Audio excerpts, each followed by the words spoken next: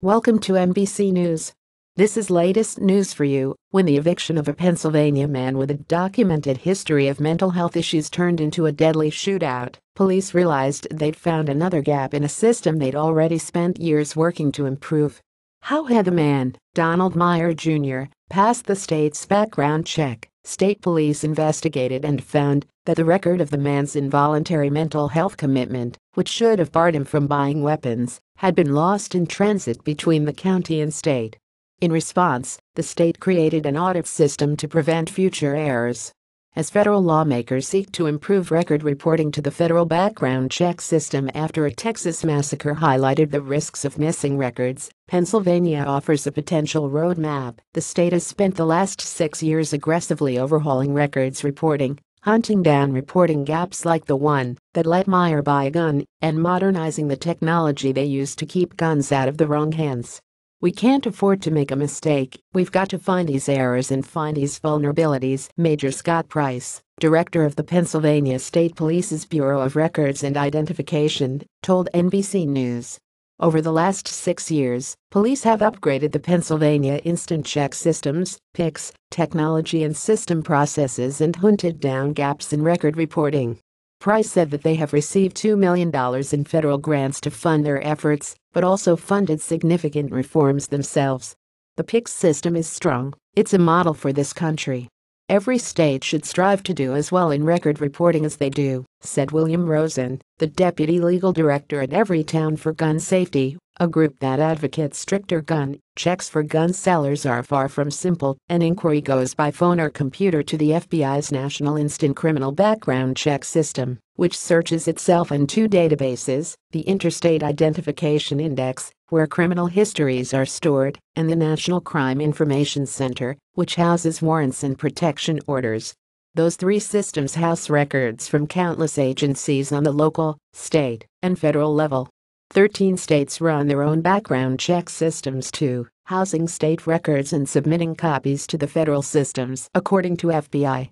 Seven states run background checks for certain kinds of weapons, leaving the rest to the FBI. Some checks are instant, while others flag potential prohibitive records, but require FBI investigators to do more research. It's a lot of moving parts, and it's got to move quickly.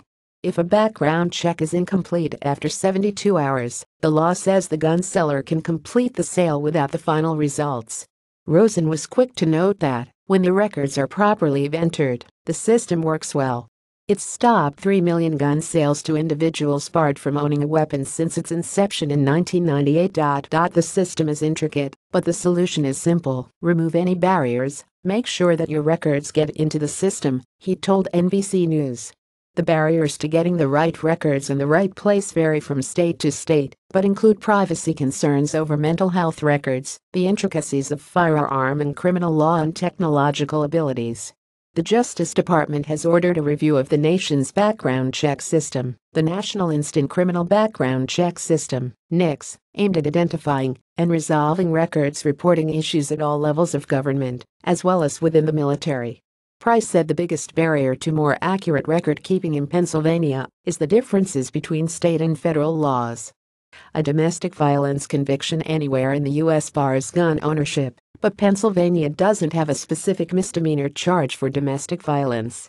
This makes tracking which misdemeanor offenses meet the federal qualifications of domestic violence, which requires that the assailant and victim live together, have a child together, or are married, difficult.